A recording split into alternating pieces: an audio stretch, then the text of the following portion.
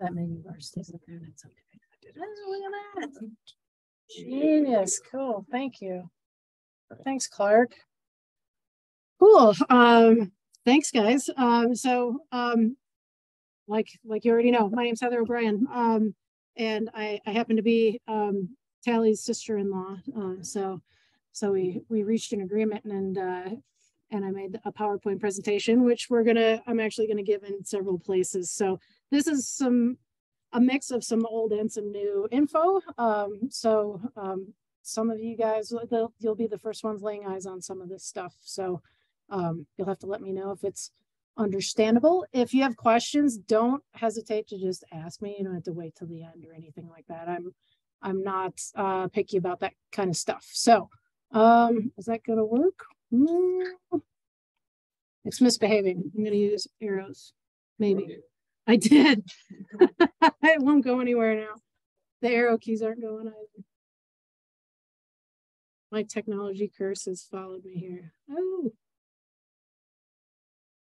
Sorry. All right, you're good. Watch, I'll try it and it won't work. Okay, cool. Will this one work now? Yeah, okay, cool. Uh, and pointer, okay, great. So um, I, I always feel like I already heard why are we why are we talking about Wolverines and not birds? I swear I'm a bird nerd, uh, and I will I will prove it in these first couple of slides. So um, like you already know, I, I got my undergrad degree and I, am born and raised uh, in Wisconsin and, and moved out here um, for my career. But when I first got started, all of my background was in birds. So um, I did a little bit of work with red-winged blackbirds, which I know is my sister-in-law's favorite bird. I love them. They have great behavior. Um, and, and this was a parental behavior study um, with, um, you can see this picture over here of, uh, there's one odd odd man out egg in there from cowbirds. So it was a cowbird parasitism study. Um, and then after that, I worked for the state um, wildlife agency, the Department of Natural Resources in Wisconsin for quite a while working on loons, um, which are, um, if you've seen my house or my office, you'll know is like my favorite species. I've got, I've got them everywhere. I've got one permanently etched on my skin. Uh, and I, I, also did some work with some other species uh, with uh, goshawk surveys uh, with black terns, which were really cool to work with, and also um, very pesky uh, in the same fashion that that blackbirds are. They'll um, they'll swoop down on you. They'll defecate on you, which is really fun. Um, and they live in very swampy places that are tough to tough to work in. But so that's where I got my start. Um, and then after that, went to grad school at, in Milwaukee and worked, um, like you already heard, on on deer and studying uh, when when there's too many high density of, of deer on some state natural areas, which are intended to protect plant communities. They happen to eat the plants that you're trying to protect. So, um, so for my graduate research, I, I came up with an efficient, cheap, easy way for those state natural areas to estimate how dense their deer population was, and then did some exclosure studies on a couple of the rare plant species that you see up there this is a bog plant called leatherleaf, and I think a lot of people will recognize that is a um, forest floor early spring emergent called trillium. Um, both very showy and very delicious. So mm-hmm. um, they got eaten frequently by white-tailed deer, and it, it, basically helped them justify having a management program to control deer on those two state natural areas. So after I did that, mm-hmm. I immediately moved out. These are some of the places in Wisconsin that I worked before I left. And then ever since then, I worked for um, the Wyoming Game and Fish Department in a couple of different capacities. So for the first 16 years of my career, I was um, a big game and uh, like a game species biologist with that focus um, in uh, the northeastern part of the state around the town of Gillette, and then also um, around the city of Casper, which is where I live now with my husband, who's having to sit through this even though he also works for the department and hears me talk all the time. Uh, so thank you. but uh, got to work on all kinds of cool species, um, not just birds. So um, after after that deer grad school experience, um, I I moved out of just working on birds and started working on all of these other species and and got lots of exposure to a lot of cool um, cool experiences. And then uh, for the last year and a half, I've been our statewide non-game um, so anything that doesn't have um, like a hunting license associated with it, uh, species for the entire state. So we have one bird biologist for non-game species in the state of Wyoming and one non-game bird, uh, one non-game mammal biologist in the state, which is me. So um, this is just a sample of some of the species that we have um, focused on in, in recent years. Some of them are um, threatened and endangered species, uh, but I, I feel like this audience is probably a little different than some audiences that I speak to who want to know like why why does anyone bother with uh, like with doing research or management on on non-game species? Um, because most most state agencies focus on those animals that you can hunt you can harvest you can um, you know you can um, eat uh, whatever. So um, so why non-game? Um, I, I figured I'd put a little spiel in here before we launch into wolverines in particular, but um, it's part of our state statute that our agency manage all wildlife species in the state, and that's true for CPW as well here in Colorado. Um, so another reason to focus on non-game species is they're they're more likely to be listed as threatened or endangered. Um, so anytime um, a species becomes uh, like listed uh, by the Fish and Wildlife Service. That uh, like triggers a whole bunch of management actions that need to take place, um, cooperating with federal agencies. The state agencies usually take on a lot of the groundwork um, to try to recover those species. So because non-game species are kind of more frequently end up uh, on the endangered species list, that's another reason to, to stay focused on them to try to prevent that from happening and catch it before that becomes necessary. Um, non-game species also can be like an umbrella species, an indicator species for entire ecosystems. So by managing one of those species, you can kind of um, like blanket um, um, cover management for an entire ecosystem, a plant community, and, and the associated habitats for that species. And prairie dogs are a great example of that. They're not typically like a threatened species, but they create their own environment. Um, and there are a lot of um, threatened or sensitive species that I think a lot of you can think of that are associated with prairie dog colonies, you know, like burrowing owls, ferruginous hawks, um, uh, swift fox, things like that. So by, by paying attention to those umbrella species, you can kind of manage all of those things. Um, and, and of course, non-game species are numerous and they, they represent a tremendous diversity and wildlife heritage that we want to maintain. So in Wyoming, we have, like I said, I have statewide responsibility and that includes 83 different non-game mammals. So that's a lot for one person and associated, um, you know, contract employees and summer technicians and stuff like that to cover. So we focus on a lot of those threatened and endangered species or those umbrella species. Um, as they come up and that kind of shifts around over time. Some of them stay constant and some of them change from year to year. Um, but the way that we uh, approach um, maintaining and managing those species is by mainly doing inventories and, and keeping track of their distribution, their ranges, and monitoring trends over time. So, so we may not study one particular species every single year, but we might cycle back to it to get trend data over time to see is that population growing? Is it shrinking?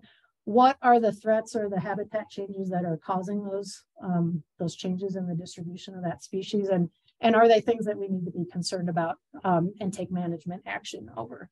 Um, so uh, on top of that, uh, we do a lot of again, like with threatened and endangered species that are listed by the Fish and Wildlife Service, we participate in recovery planning for those species. So uh, black-footed ferrets um, is a big one in the state that, that we do um, do work on every year. Um, Preble's meadow jumping mice. I don't know if anyone's heard of that species. Very um, very uh, high profile on the Front Range because the majority of Preble's populations are right here on the Front Range in Falcon. There's a, a, a, population, there's Chico, and we kind of manage them by watersheds and drainages. And they, they spread up into Wyoming. So we participate with Colorado and the Fish and Wildlife Service in recovery planning for, for Preble's. Um, it's a lot of multi-agency collaboration, as you've heard already come out of my mouth, the, the names of other agencies and um, other state wildlife agencies. And then we also, for species that maybe we don't have time or funding to focus on, we'll partner with research entities, academia, um, graduate students that have an interest in a certain non-game species and kind of collaborate with them and coach them through um, answering some of the questions that maybe our agency would like to see answered and have them include that in their research and study. So our current focal species that, uh, that we're uh, working on right now in my section are listed here. And you've already heard me mention a few of them. Bats are becoming a huge deal because of white nose syndrome and, and the loss of populations. Um, there's currently, uh, at least in Wyoming, one species that is about uh, is uh, listed as endangered in the northeastern part of the state, and we've got three basically in the hopper that the service is um, waiting to announce that are going to be, either be listed as threatened or endangered. So we'll start doing that recovery work um, on those species and trying to bolster their populations, protect their habitats and things like that. Um, I already mentioned, prairie dogs I mentioned. We just finished uh, a pika study and you'll notice there's there's a little bit of commonality between pika and the species we're going to talk about today related to climate change. Those are two high alpine species that are reliant for some part of their life history on snowpack and, and consistent snow cover. Um, and because of that, those are species that we have interest in. They've been petitioned for listing um, uh, under the ESA more than once. So, so we do monitoring on both of those species. And then swift fox is one that um, you guys also have here in Colorado um, and in Kansas and, and, Montana and a few other plain states. Um, again, they're a little bit of a sensitive species. They're a lot of times associated with prairie dog colonies um, and they're, they're a species of interest because their, their numbers can kind of teeter on that um, edge of, of needing um, or maybe requiring listing um, under the ESA. So, okay, we'll finally get to the species that I came here to talk about. Uh, so we'll talk a little bit first, um, just cover some general life history and ecology of wolverines. They're such a crazy animal. Uh, uh, I'll tell you a little bit about the survey methods that we employ uh, to monitor them because they are kind of like an elusive, you know, they're they're not numerous on the landscape. They're hard to see. Um, so we have to do some kind of tricky things in order to understand where they are.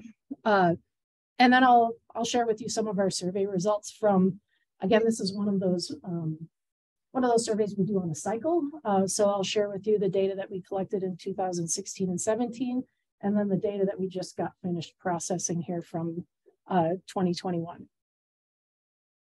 Okay, any questions so far? On any of that uh, agency mumbo jumbo. so you kind of know where I'm coming from.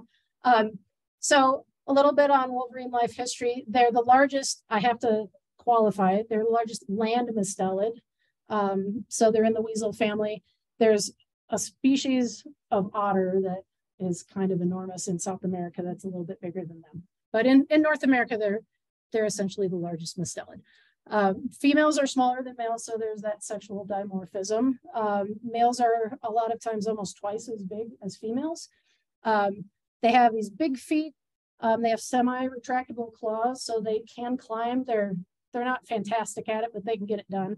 Uh, and and they have powerful jaws, and that has to do a lot with uh, with their diet of they eat a lot of carrion. Honestly, um, they can hunt for themselves, but but they rely a lot on finding um, finding dead stuff and caching it. Um, and they have this nice chocolate coat. And a cool thing about them is they they have a lot of variable markings. Um, so you'll see a lot of pictures. Um, the one in the on the right side there, you can see these chest markings. They have um, like these lighter side markings commonly. Sometimes you'll find one that's almost all chocolate brown, but that side marking, a lot of people will call it an apron. Um, and you'll see various little white markings on feet um, and that chest pattern can vary or be almost non-existent. And we can use that in photographs to, to identify individuals, which is, which is kind of cool. As far as their distribution across the globe, they're, they're not um, confined to North America. They have a circumpolar distribution. Um, so a little bit confusing and hopefully you can see with the coloring on the on the left map that that's looking at the North Pole down. Um, and then in the uh, in the continental US and, and Canada, the darker red is their current range and the lighter pink color is, is their estimated historic range. Um, and that got contracted mainly um, because of overtrapping, um, which doesn't happen in a lot of places in the continental US uh, at all anymore. Um, you'll find some states where they're still listed as a fur bearer species, but their seasons are currently closed as, as a bunch of states adjacent to Wyoming and Colorado try to work on managing and, and increasing their numbers. So, um, but they were essentially eliminated from the continental US in the 19 by the 1920s because of overtrapping. Um, and they've since then been slowly kind of spreading back down into mountain ranges and high elevation habitats um, in the Rockies in the Western United States since then. So these are kind of the things that make them hard to see and hard to understand how many we have on the landscape. Uh, they're very solitary. They have huge home ranges. Um, and a lot of the things that they do happen at night, although you're going to see a lot of daylight photos of them. A lot of that is in the winter months that they spend time out during the daytime uh, because the colder temperatures kind of, um, they prefer that. But these are a boreal or an alpine forest species. They like the tree line before you, you know, run out of, run out of uh, conifers and end up in um, just scree and, um, and boulder fields uh, are commonly places that you'll find them, especially in the summer months. In the winter, once we get that snowpack that starts to cover things, you'll find them coming down in elevation, which you'll find we also take advantage of for these surveys. Um, and they require huge areas with not very much disturbance. So you can you can imagine with all of the different activities that happen, um, like along the Front Range in the Rockies, um, all the recreating and things like that. Those disturbances can have an influence on whether you find wolverines will tolerate um, living in those spaces or not. Um, but also like things like timber harvest, um, extraction type um, mine activities and things like that that happen in mountain ranges also have a negative influence on, um, on wolverine presence. They will eat anything. Uh, so they're uh, they're truly a mesocarnivore, which means they're they're not just uh, a carnivore. They'll they'll take advantage of every everything they can they can eat that's edible. So um, when when it's available, they'll eat berries, seeds, roots. Um, sorry to say, they will definitely raid bird nests and eat eggs, uh, which are super nutritious. Um, they'll capture and ambush both small and large prey, but their preference is to scavenge on carrion. Uh, so they, the way they make it through the winter months is they will find things that have perished in the snow uh, and they will cache those things and hide them in the snow and go back and feed on, the, on those things until it's gone. Um, and you'll find that they move around. They, they'll have winter den sites, but they'll, if food is scarce in one place and they run out of chow, they'll pick up and, and go someplace else. Even if they have cubs, they'll pick them up and go with uh, and create a new den site looking for food in different places. So they're, they're nomadic um, and their ranges can be really, really big. Um, their mating season is in May and August, um, but um, just weird things about species in the weasel family. They they have really strange reproductive ecology. So um, they have what's called delayed ovulation. They and most most things in the weasel family have this. They don't ovulate until they have copulated. So um, it's really hard for um, our Black-footed ferret recovery um, uh, captive rearing program because you can't just artificially inseminate those creatures. They have to actually copulate before you can before you can breed them. So it's it's this weird weird uh, like dance of getting that done in captivity. Uh, but that delayed implantation gives uh, gives them the opportunity to mate um, and then uh, and then ovulate. And then on top of that, they that fertilized egg will not implant until later on when they're uh, like later on in the winter. So um, they can, it's not like they consciously time it, but their nutrition will kind of control when that implantation takes place. Um, their den sites are usually above 7,000 feet. Again, these are alpine critters. They might venture into lower elevations looking for food, but most of their um, their pup rearing den sites are up higher and they'll do that under logs, boulders, and just plain old like into the snow. Um, so again, that you'll see in blue, they cache food in snow, they need persistent snow for denning. So this is an important component of their, their life history. So this is a species that we have concerns about relative to climate change. If we're gonna lose some of that snowpack um, or the, the season that we have snowpack becomes contracted, um, we have concerns that wolverines are not, are not necessarily going to be able to adapt to that. Kits are adorable. Uh, they have one to four, uh, born um, right now, essentially. Um, they emerge from dens in May. Um, they're dependent upon the female for a year, so they're kind of like bears where they learn a lot. There's a lot of parental care, um, so there's a lot of investment in those kits um, by the mother. So for one year after that, she's not reproducing. Um, and they don't reach maturity to mate themselves until they're two or three years old. So very similar to like black bears. Um, but that slow reproductive rate is another thing that that impedes them, you know, their populations growing and expanding. It's a very slow process. So um, to gauge those trends over time, it takes a lot of those surveys over those five-year periods to, to to um, gauge or detect any of those changes happening, whether it's in the positive or in the negative. Some population level threats. Um, the two points up there that are in white are kind of like old um, pre, like uh, pre the uh, pre 1920s and 30s when they started to stretch back into the, the lower 48. The reason that they um, that their numbers were um, retracted and um, and they disappeared um, in this part of North America was because again of unregulated trapping, and they just had a bad rap overall. They're just not uh, a species that people found favorable or a varmint. Um, they were, you know, like getting into things and um, like attacking livestock and things like that.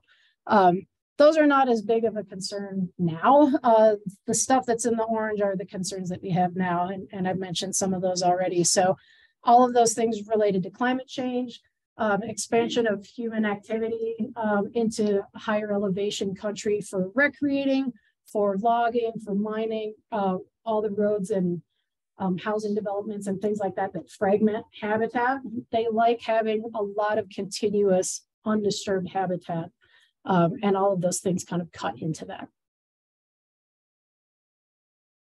So their management status, um, they've been petitioned for listing as an endangered species uh, twice and in between lots and lots of litigation. Right now, they're currently under review. In fact, I just had to finish our contribution to that this week um, for a threatened status rather than endangered status um, which is just a little bit lower level and and not as um, not as intensive with um, legal limitations for for land use um, for the public and and for um, industry, but still helps recover populations. But currently, their their listings, the previous attempts at listing them as endangered, were found not warranted. And it's because we don't have a lot of information on them because they're so secluded, secretive, and there's just not many of them on the landscape, even when they're doing well. Uh, we just didn't have a lot of data on them. So that issue with uh, the Fish and Wildlife Service not being able to um, justify them being uh, listed as endangered was is part of the impetus of of us realizing as land, as wildlife managers that we need this information so that we can use that to inform management of this species. So that kind of created uh, some movement um, with with some of the wildlife agencies in the Western United States, um, both federal and state folks. So we formed a cooperative group to monitor wolverines across their range rather than each individual state having their own idea of how to do things, everybody doing everything different and trying to compare data that's kind of apples to oranges. All of us, all the agency folks got together and collectively came up with a survey design that everyone did in unison with the same design.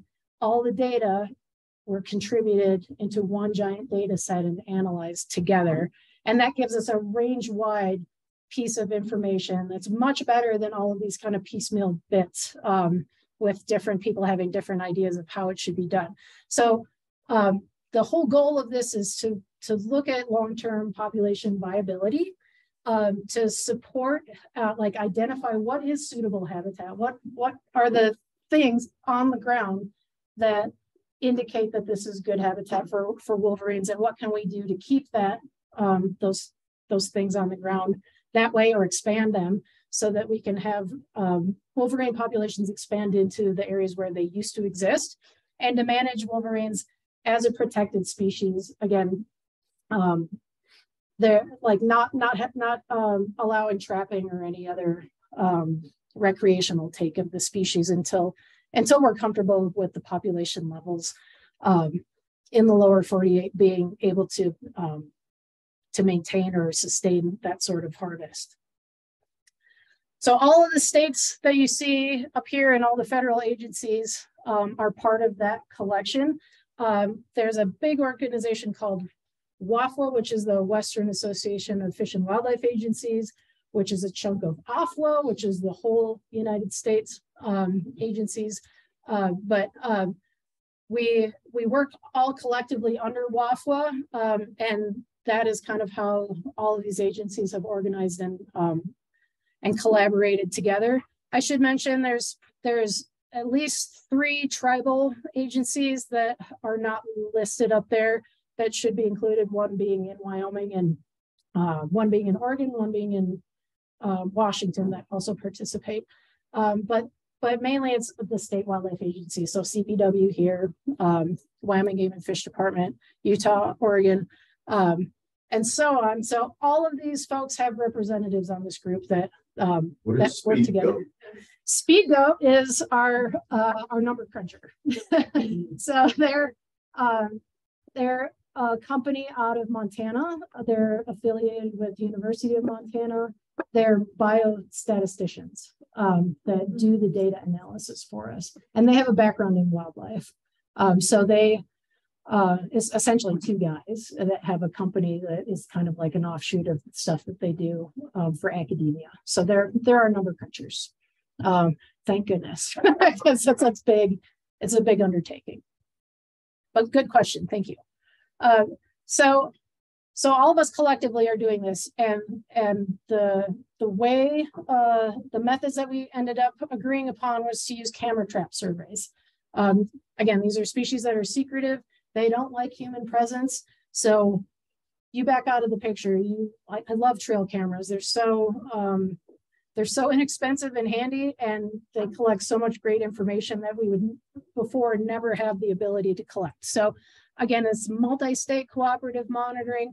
It's range wide, and we've all agreed to collectively repeat this every five years. So the way this is done, and this is this, I swear, this is the only part that's a little bit in the weeds. Um, we create a grid um, based on home range size. And these are actually a little bit smaller than, than Wolverine female home range sizes, which are smaller, male home range sizes are much bigger. But the, the goal is with each one of those little grids, like a square in that grid should be about the size of the home range of whatever species you're trying to collect information on. You put one camera in that grid. Uh, and and we bait it. Uh, so we give wolverines a reason to show up in front of the camera. Um, so there's bait or lure in front of the camera, and then we can leave that over the entire winter and come back and collect um, the memory card, everything, and then go look through it, uh, which is a whole nother fun process. Um, and then to boot, we decided to add uh, gun brushes. I don't know how many of you um, are familiar with cleaning your firearms. But uh, gun brush is just a little metal bristly thing uh, that you shove down the bore of a, a rifle uh, to clean it out. It's also really handy at picking up hair. So um, you'll see in some of the pictures ahead, there's there's like a belt that we would put on the tree with bait above, and the wolverine has to crawl over that belt, and it has these stiff like bristle brushes basically sticking out of it that grab hair as they're trying to eat on the bait. And then we can use that for DNA analysis, which is which worked out pretty slick. Um, but this setup has been used for a lot of sort of um, elusive, secretive species um, like fishers, uh, pine marten, uh, lynx, bobcats, things like that. So you're just kind of adjusting your survey grid size depending on the home range size that you estimate for that species, and then overlaying it with suitable habitat and, and then selecting sites from there. Um, the folks that get to go put those out and pick them up are hardcore individuals. so this is all in the winter months um, so that we can take advantage of some, some of those lower elevation sites that they use in the winter. Um, also comes in very handy because some of the other species that would be attracted to those bait and lure smells uh, are hibernating. Um, so mm-hmm. hopefully they're less likely to attack and destroy your site before a wolverine gets there. Um, so some of the cameras that were set um, had bait, which and in our case we used um, um, roadkill, like basically chunks of roadkill deer. So like a quarter of a deer would get hung up in a tree. Our inaccessible sites that got left um, for the entire winter before we could have someone go back and collect them because of snowpack. Um, got a lure dispenser, which has some really great smelling, skunky, stinky beaver, castor.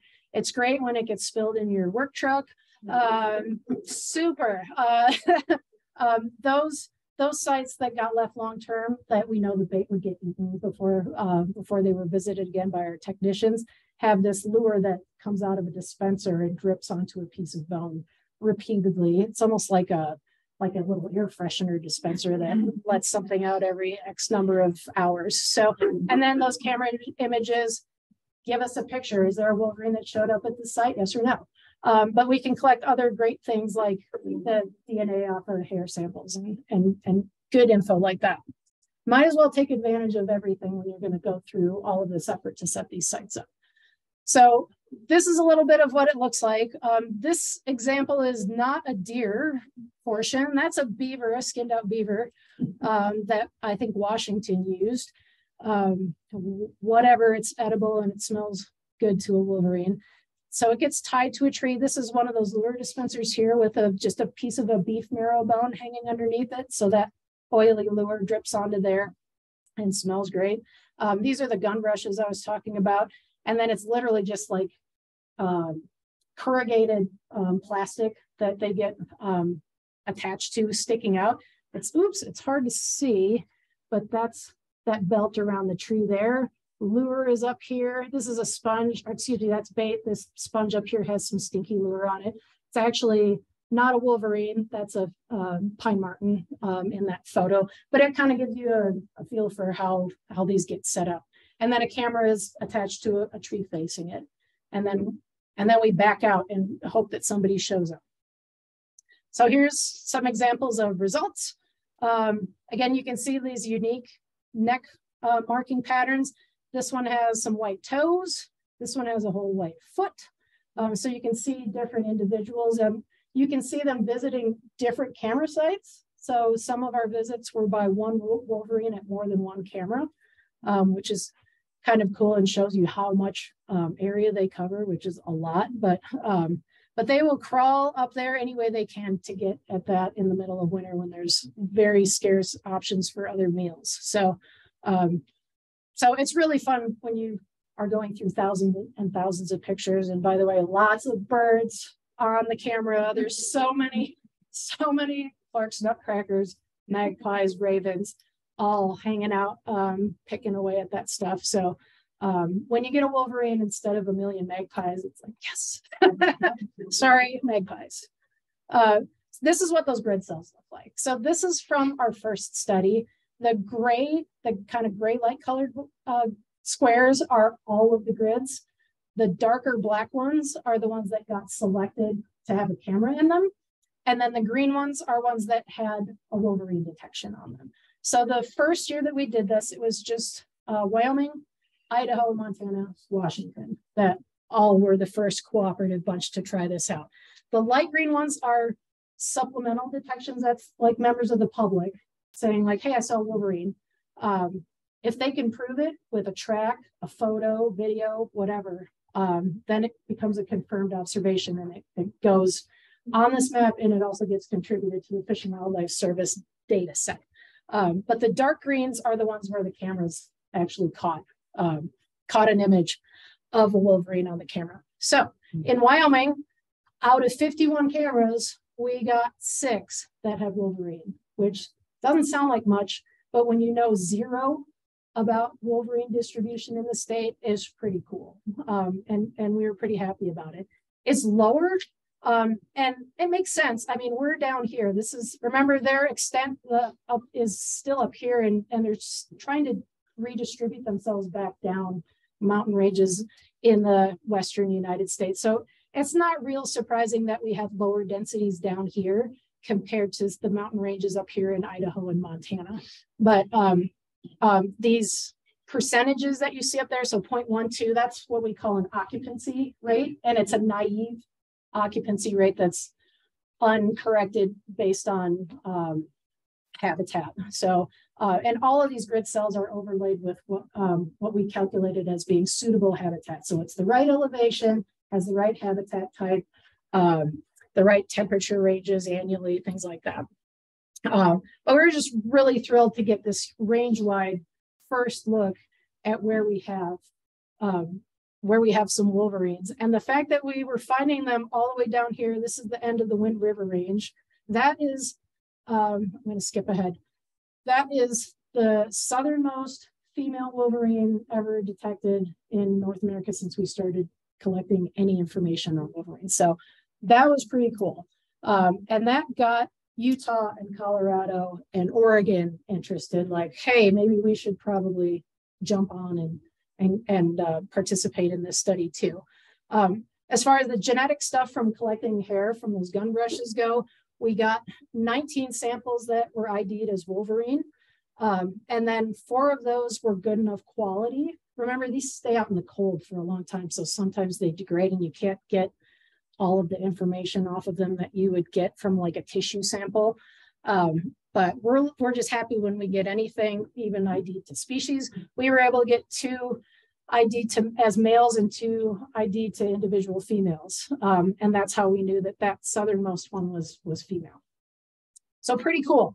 Uh, so then we wait five years and we do it again. And this time, like I said, Utah participated, Colorado participated, uh, California uh, in the Sierra Nevadas, sorry, I've forgotten, um, California and Oregon um, participate. And you can see some other little squares sprinkled around the other states that didn't get sampled. Um, the blue ones in this case are the ones that got cameras on them.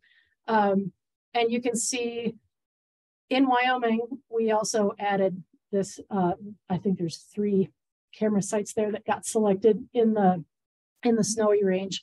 Um, and then Colorado only did um, sampling here. I think that's north of is that the I-70 corridor that cuts across? Um, they just kind of dip their toe in to test that before they put a full effort into the entire state.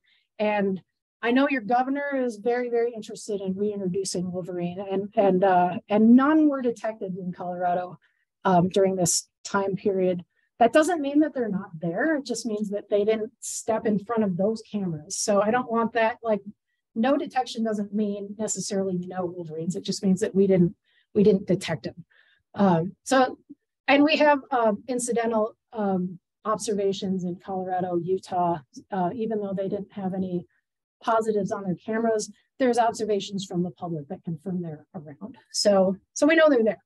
Um, but the, select sites with the cameras. Do you so if it was a green square on that first one, did it automatically get a camera next year? We yeah. So all of the sites that we did in the first round are exactly the same as the second round, and then we added some more. Um, and the same is true for all the other states. So we we kept that first random selection so that again we can compare apples to apples over time.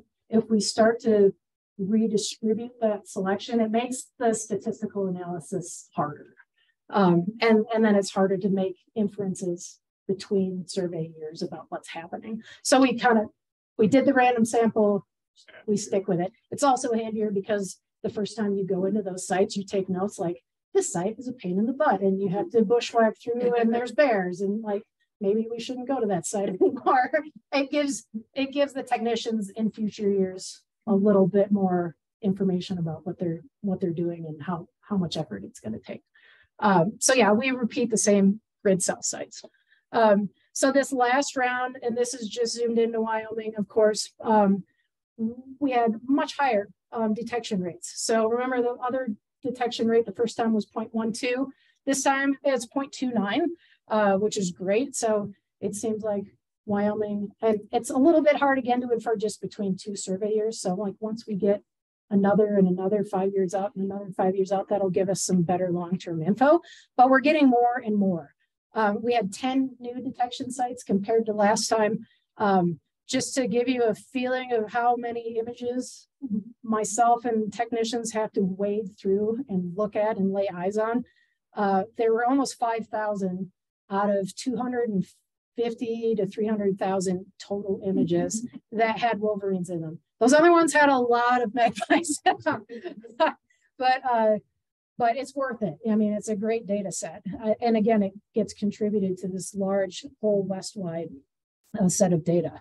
Um, so we still didn't have any detections um, the first year or this last time um, out here in the Bighorn Mountains. And, and we did, oops, we did add some down here in the snowy range. Didn't have any detections. That doesn't mean they're not there. Um, but we'll, we'll continue to survey those sites and see if we get any positives. Um, again, this is kind of hard to see. Um, the there's some additional dots out there that are blue. Those are the added public sightings that were confirmed. Um, there's a lot of activity in the greater Yellowstone ecosystem because of the parks. So we get a lot of people that lay eyes on wolverines. And luckily, a lot of them are wildlife photographers and send really awesome pictures, um, like easy to confirm. So those get added, those get contributed to the whole data set. Um, and, and that contributes to those determinations of, does this species warrant listing as threatened, endangered? This data set backs that up.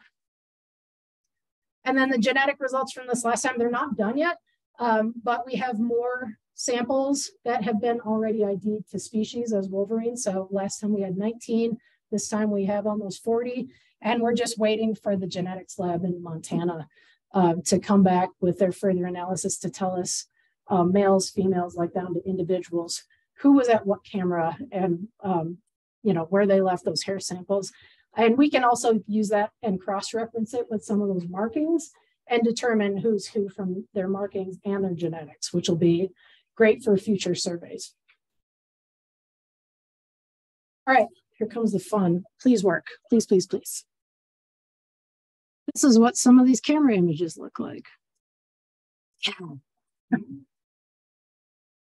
I love the magpie, just waiting, waiting for snacks. The Wolverine does not like, you'll see him get chased after a while. So the cameras take three pictures, like a burst of three pictures, and this is a whole bunch of them strung together. Can I ask about the paint? Yeah. How long does that last? It depends on who gets there first. Um, it gets replaced at, at, the accessible sites. It gets replaced once a month if we can get in because of the weather. It just kind of depends. Um, they, it gets put out usually before the snow flies and before we have some uh, hibernation. So we did have grizzlies destroy some of these. Um, which is also entertaining to watch. But yeah, see, if like I love the like Mission Impossible. um, if you're paying attention, there's these are three different Wolverines, uh, which is also pretty incredible. They're supposed to be a very solitary animal. Um, and one of these individuals just got caught this weekend and had a collar put on it because we had so much activity at this site. Um, one of my colleagues put a trap out uh, this year and and caught one of them. I think it's this one, but there's actually three. So the first one had, I, I can replay it again after we're done, but the first one had white paws, very distinct white paws. The other two, I, I had to quit because there's hundreds and hundreds of pictures. Um, the second one is kind of like a traditional colored um, individual without any real markings on its feet. And then this third one if you pay attention, if I run it again, it might be kind of hard to see in here. It has two really distinct white markings on its shoulders um, that, that you can see that's different from the other one. So my guess is that one of those is a female and the other two are her offspring. That's the only reason I think that they would tolerate each other and hang out with one another. There's a timestamp on here too. You just can't see it because of the menu at the top, but um, the first one comes in and then there's like an hour gap and then the second one comes in and the third one comes in right after it. So I think those last two are probably yearlings. And the first one that got dibs um, eating the bait was probably mom, but we'll see when we get DNA back um, if if I'm correct or not. But it's just really fun to look through those pictures once you wade through all of the other ones. So we did, like I said, we get other visitors, which are always fun to see on uh, when you're sorting through thousands and thousands of images. So we got a red fox who's not even doesn't even care about the bait. It's already got a snowshoe hare in its mouth. Um, the second picture is a black bear. Grizzly bear would not be able to make it up the tree. Um, and then you'll see a pine marten and a mountain lion easily climbing up the tree. Um, these are like great to see, but they eat the bait. So um, it can have an influence on if somebody shows up or not. Um, we do also have um, that second picture doesn't even have bait. This is one of our dispenser sites. So that's that lure dispenser, and this is just a bare bone. So that bear is just interested in the smell, and that's it. He didn't get a food reward. Sorry. Uh, but they the bears do a number on those gun brushes. They almost always rip them, rip them down and make them ineffective. Um, yes, like that one with the collar, uh, which is also cool to see. Someone else's study animal uh, showed up. Uh, they're not very good at getting up the tree, but um, but coyotes can, if they want something pretty bad, can get up there. Uh, the grizzly bears on the right. Um, there's got to be like 200 pictures in that series with those two yearlings being small enough to actually climb the tree. The sow could not get up there, but the two, uh, it was like watching a cartoon because like one would get frustrated and like take it out on the other one. And it's just like, I know I'm supposed to be collecting useful data, but this is just fun. Uh, and it's a nice break from uh, like a lot of uh, more boring pictures. And then these maniacs are the four technicians that we had working on on that project. They they dealt with so much cold and so much snow. They they skied in, they snow machined in, they got stuck.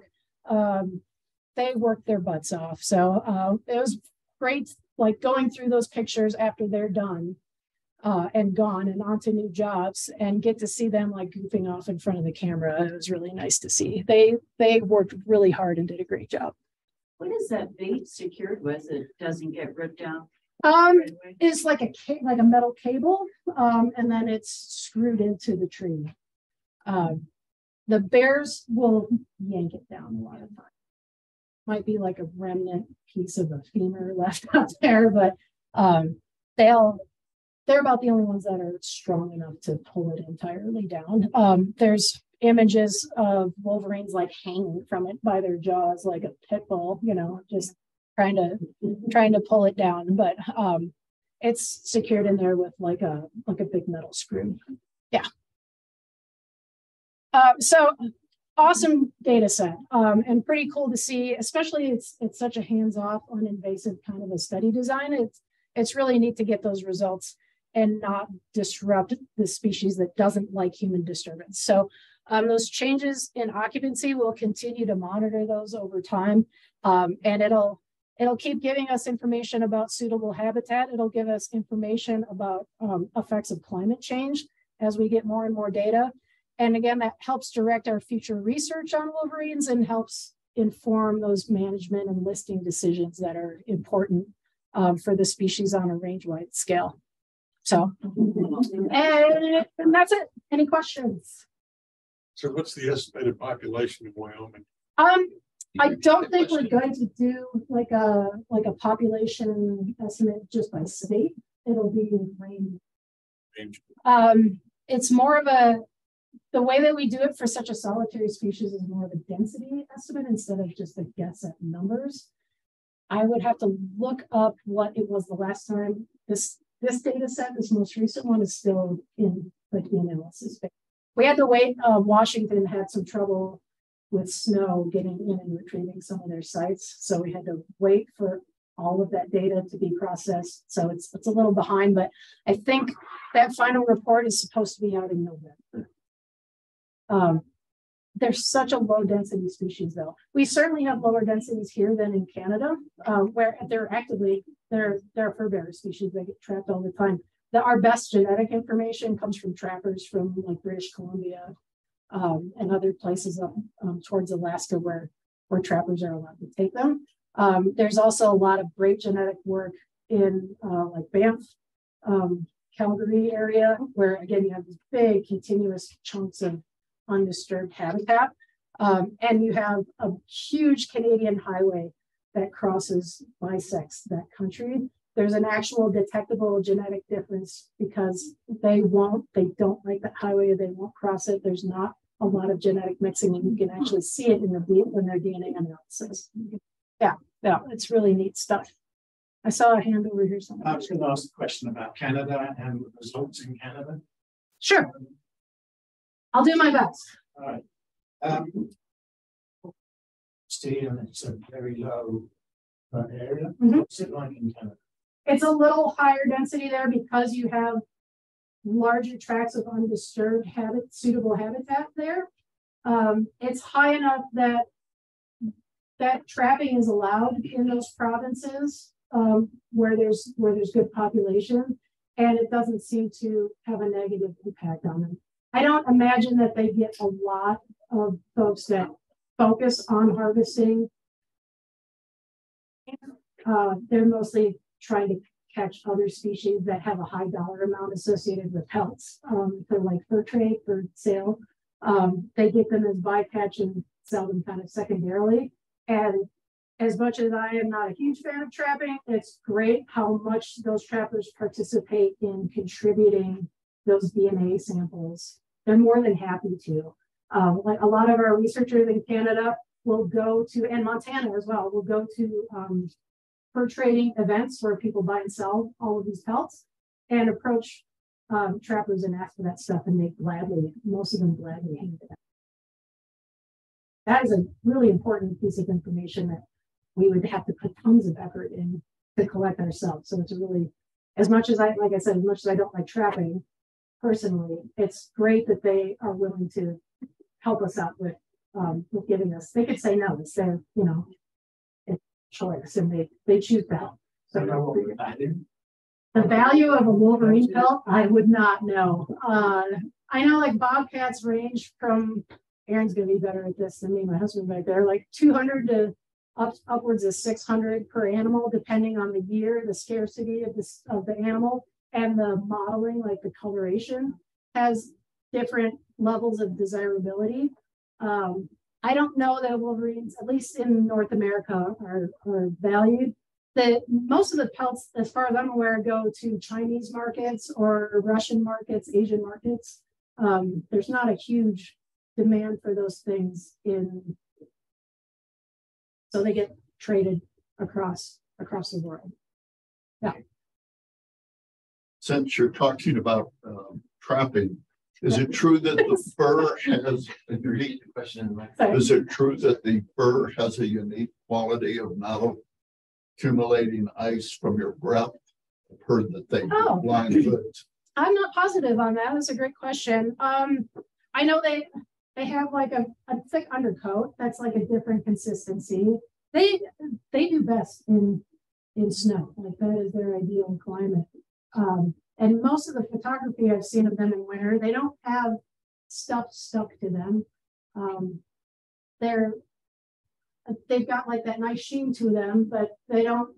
They're not like a beaver that has castor that you know like that they that they um, that gives them like that sheen. But um, I would again, they're such a hard animal to lay hands on. It's it happens so infrequently. Um, I'm not sure that I have the answer for that. I could find it out from some of the people that do more um, capturing and radio collaring of individuals in Canada.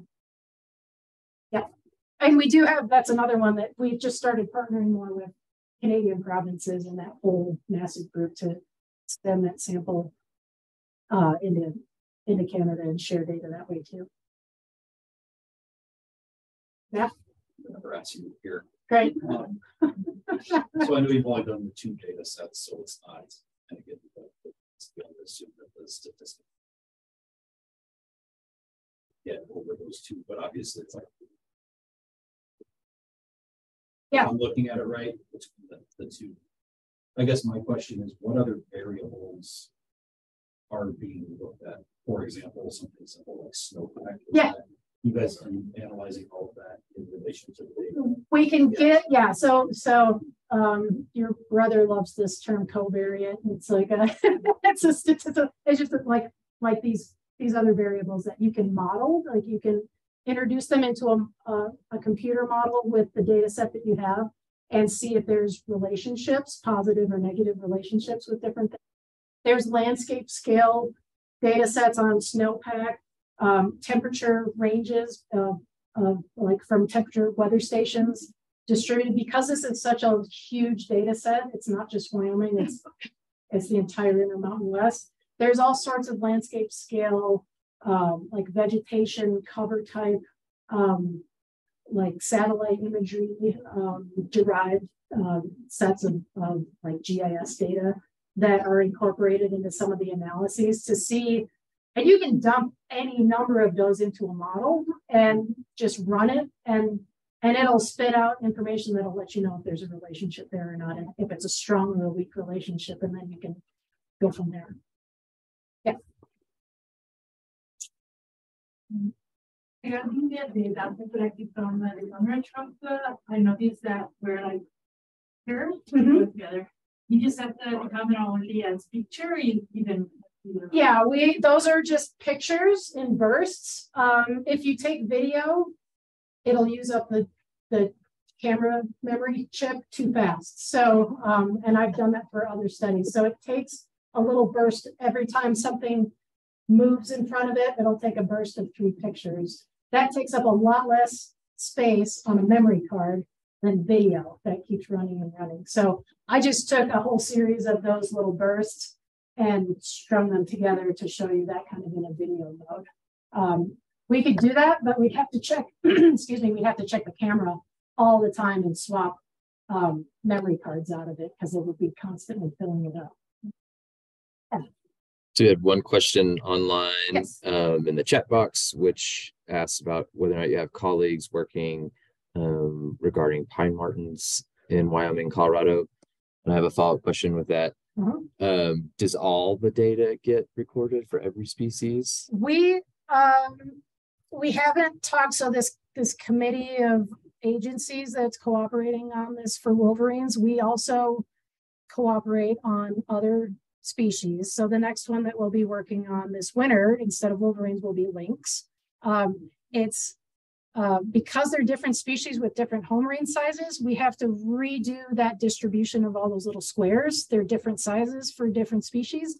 But the one thing that is a huge, like long-term goal for that group is to do nested surveys. So those grids, those little squares that are supposed to represent a home range for different species can be nested within each other. And then you can put one camera out and collect and analyze data for multiple species with one effort. So that would apply to pine marten um, and potentially lynx.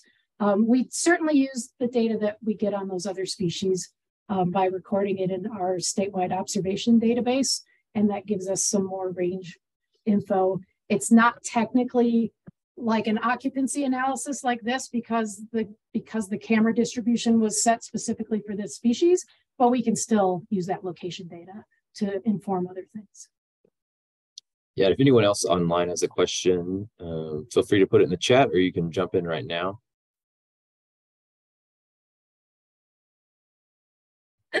Losing my voice.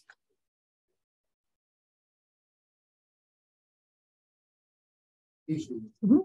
They come disperse, do they disperse at once, um, big wide open spaces to get? I, as much as possible, follow the mountains to get to other ones. There, so from what we've seen, it's a little bit of each uh, because there's only so many home ranges that can kind of be contained in some of those areas with good wolverine habitat. You will get some of those young that have to disperse across unsuitable, low elevation, open country, whatever habitat in search of new places to establish themselves. So, uh, thank you. um, so we get like some of those incidental observations are like, boom, like out here, out there. And when you get those calls from someone like, hey, I saw a Wolverine out in the sagebrush, and you know, I'm like, oh. And then you get a picture and like, yep, that's a like I like as much as it sounds suspicious, if I, it can certainly happen. It's not common, but uh, for someone to actually witness it. Um, but we have cam or uh, collar data that shows those dispersals too. Um, this one that we just put a collar on last week, we don't have a whole lot of information on yet, um, but it was an adult female um, and like an older female. So she probably will stay within her home range. But Utah sort of opportunistically a year ago had the, uh, the chance to put a collar on a wolverine that was getting into domestic sheep. So they trapped it and had a collar that was the right size and put it on. Um, you'll notice they don't really have a neck to speak of. And they're a denning species, so they're really hard to collar with with a device that wasn't specifically made for wolverines. Um, that collar stayed on that animal, I think, for a couple of months before it somehow wormed its way out of it. But uh, that was in, is that the Uintas or the Wasatches that go horizontal? Uintas, thank you. Um, they trapped it there. It went all the way west basically into that, like around the corner of Utah in that northeast corner. It came into the Wyoming range in Wyoming and then spit back out onto the Utah side of that border there um, before it shed that collar. So that one individual covered all that country in just two months. Um, so they they can in some there's a, a lot of carnivore and mesocarnivore species, especially when they're young and they don't have their own home range they just go on like a walkabout until they find something, and we we spot them in the various places.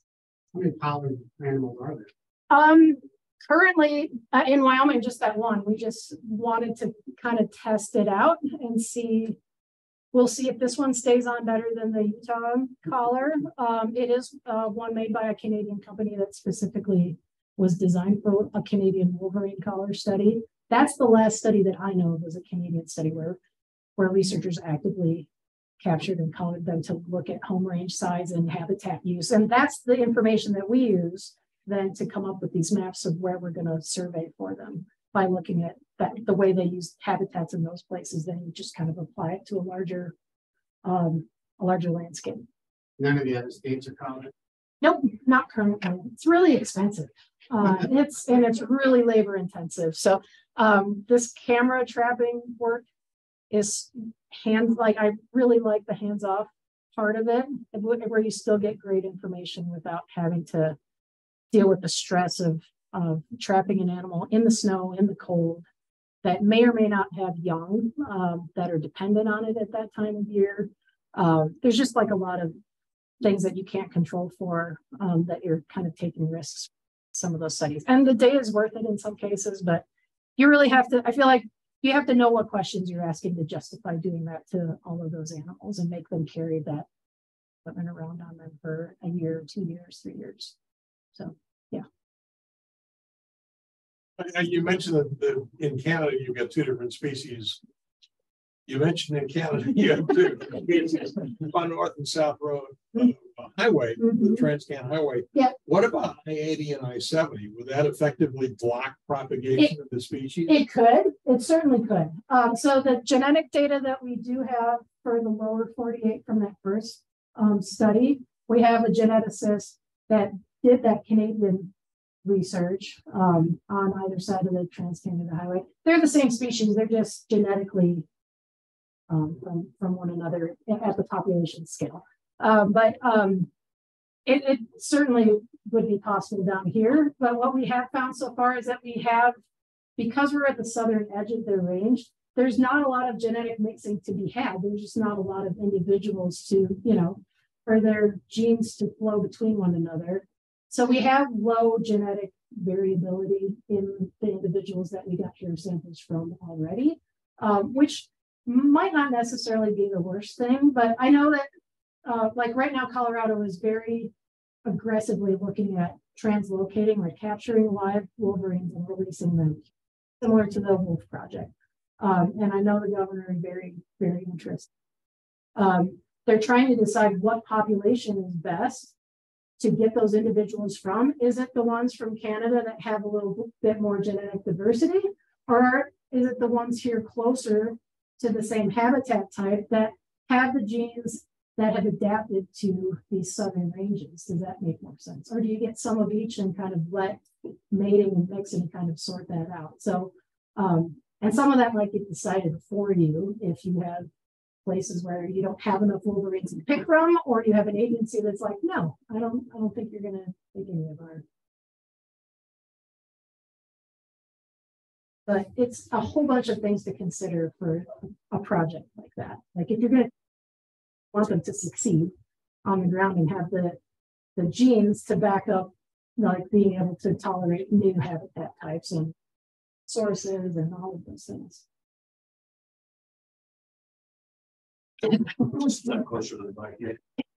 Fish and sheep, is it common that they hunt domestic animals? Um, every now and then, um, we'll have issues with livestock depredation. Um, there was one case that I know of last year in Wyoming. Um, again, it depends on, it, it depends a little bit on who's running their sheep at what elevation. Um, and, um, I don't know that they would I, I don't put, they're like little Tasmanian devils. They're, I mean, I, I bet if they're hungry enough, they would try to take down like a domestic cow or a calf.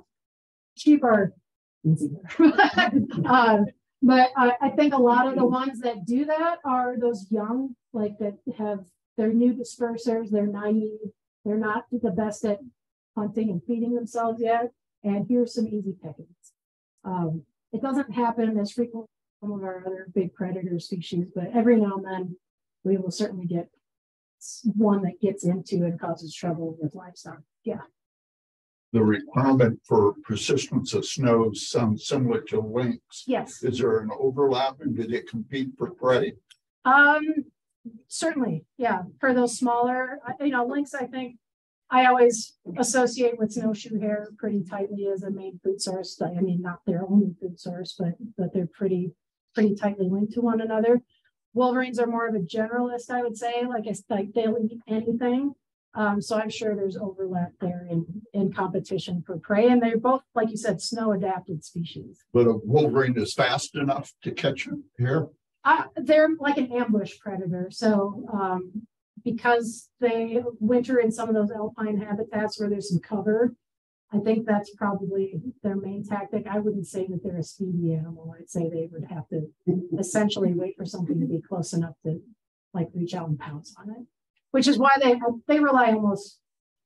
Uh, I shouldn't say exclusively, but they lean pretty heavy on carrion. They wait for big animals to die of winter starvation or succumb to the elements, and then they have a lot of food in one big animal for a while. Sure. And they'll travel and smell that for quite a ways. Colorado tried to introduce, Colorado tried to introduce lynx Yes, and it was a disaster. we inherited some of your lynx in that, so, yeah, um, those were collared so that they could see where they went. Um, and some of them ended up in Wyoming for a little while. Um, like I said, we're about to do this same thing. Um, and instead look for lynx on the cameras. Um, and we'll use different attractants. Cats are cats. They like shiny stuff. Like literally hang a lure. It's a compact disc on like a piece of fishing line so that it twirls and catches light. That will attract every kind of cat, including including lynx. So uh it's like- yeah, what's that? What's a compact? Now I'll see myself. on it.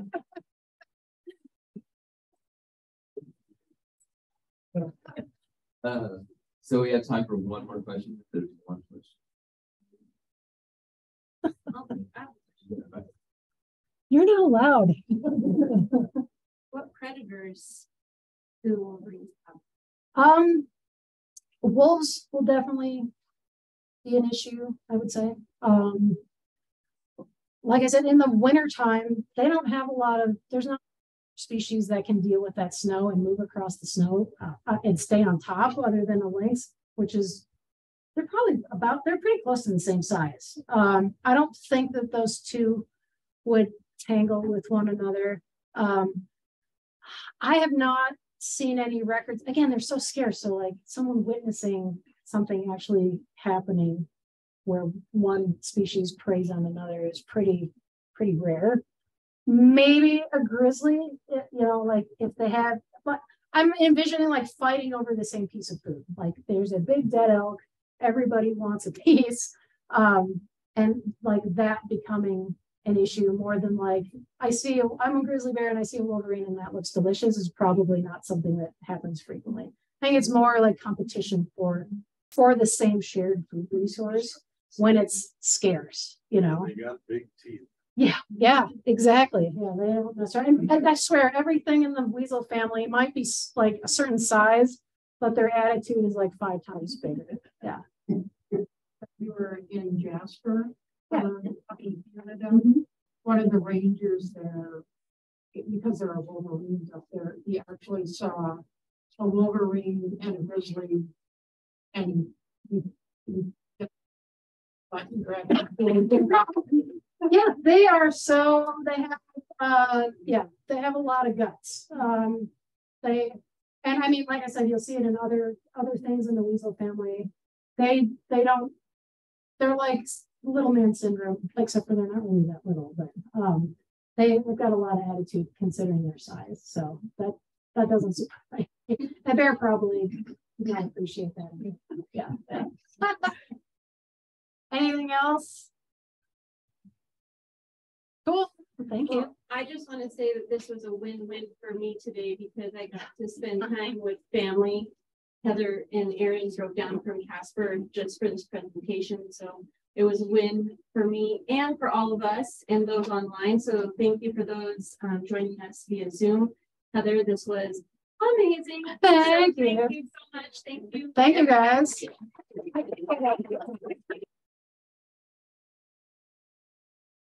See everyone on a field trip soon or at our next meeting. So uh, this weekend is Birds and Brews. and see you there. Have a good night. Drive safe. Thanks, Howard. Thank you. Back for the question. Sure. Bring it up. Bring it down. Oh,